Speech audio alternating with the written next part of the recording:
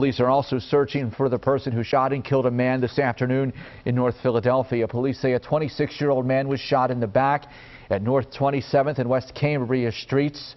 He was taken to Temple University Hospital where he was pronounced dead just after 12:15. So far, there are no arrests here.